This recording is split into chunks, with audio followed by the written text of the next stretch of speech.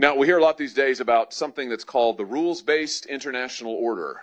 I'm sure you've heard this phrase.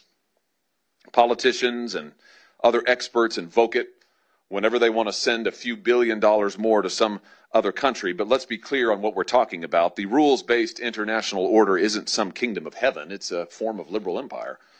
It's founded on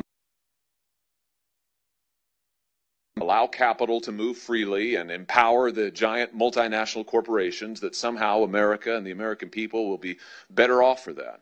Somehow we'll make America more like the world and the world more like America. Free minds and free markets, or something like that. That's what we promised anyway for years now. Listen, there was never a time when that was a good idea. And it is apparent now that it has been disastrous from this country almost from the start.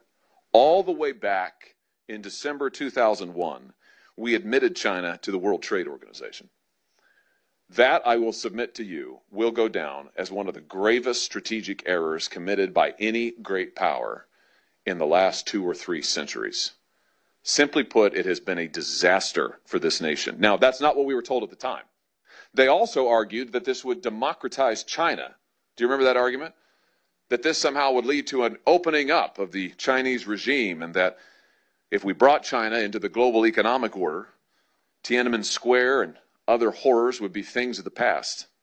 Well, having been in Hong Kong in the fall of 2019, I can tell you that was a catastrophic misjudgment.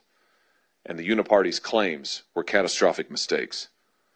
One country, two systems was not China's first broken promise. After joining the WTO, China promptly cheated. The Chinese Communist Party took full advantage of its access to global markets to enrich who? Itself. Good blue collar jobs that once provided Americans with a living wage were siphoned off overseas. Meanwhile, the Chinese Communist Party got rich as the Chinese economy boomed. They built their military on the backs of our middle class. And now that military, not only massive, but increasingly modernized, is poised for a cross strait invasion of Taiwan. And what do our leadership? We have the largest military in the world. We spend over one trillion dollar every year. And the state, your state of Missouri, is over half of people are in poverty. China is not our enemy.